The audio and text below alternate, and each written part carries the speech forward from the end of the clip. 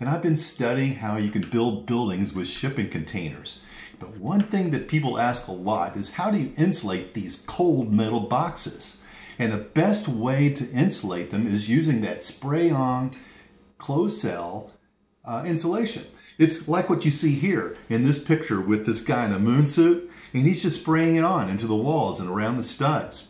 Spray on closed cell insulation is a lot more expensive, but it's well worth it for the shipping containers because it's a lot more efficient in space that it takes. It doesn't take that much space to give a lot of insulation, whereas it takes only like three inches for an R21 uh, for the spray on compared to eight inches or so if you use a bad insulation.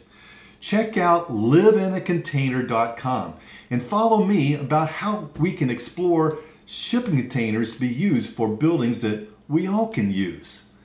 Subscribe down below too.